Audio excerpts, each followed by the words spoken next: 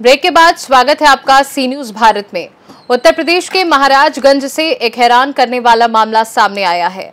यहाँ प्रधानमंत्री आवास योजना की 11 लाभार्थी महिलाओं ने पहली किस्त मिलने के बाद अपने खाते से पैसे निकाल लिए और अपने कथित प्रेमियों के साथ फरार हो गई। मामले का खुलासा तब हुआ जब इन महिलाओं के पति पुलिस के पास पहुँचे और दूसरी किश्त पर रोक लगाने की मांग की। वहीं इस हैरान करने वाले मामले के उजागर होने के बाद प्रशासन अब इस पूरे मामले की जाँच में जुट गई है। देखिए पूरी रिपोर्ट। पूरा मामला उत्तर प्रदेश के महाराजगंज ज़िले के निचलौल ब्लॉक का है। इस ब्लॉक के तहत आने वाले नौ गाँव के 11 महिलाएँ पीएम आवास योजना की पहली किस्त लेने के बाद ही अपने पति को छोड़कर प्रेमी संग फरार हो गई। वहीं पत्नियों के भाग जाने से परेशान पतियों के सामने दो समस्याएँ खड़ी हो गई हैं।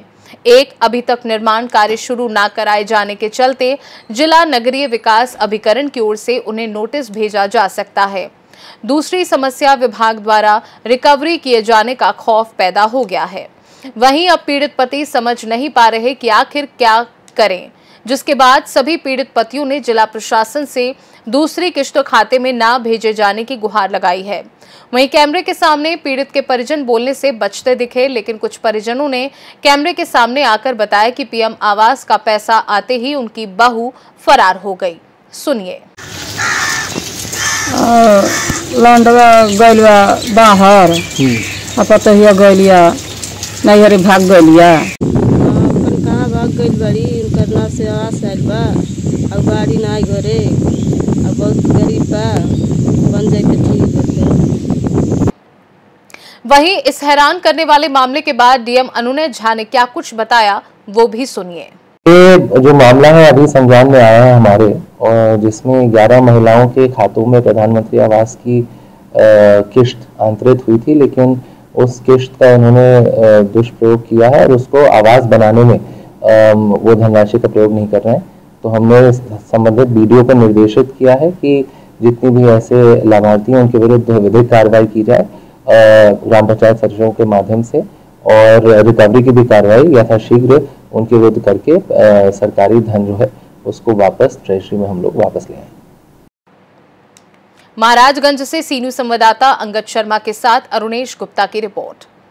हालाँकि यह कोई नई बात नहीं है इससे पहले नगर पंचायत बेलहरा, बंकी, जैतपुर और सिद्धौर की चार महिला लाभार्थियों के खाते में आवास की पहली किश्त भेजी गई थी।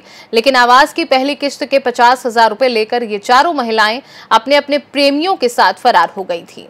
नगर पंचायत फतेहपुर में दो महिलाएँ पीएम शहरी आवास योजना की लाभार्थी थी।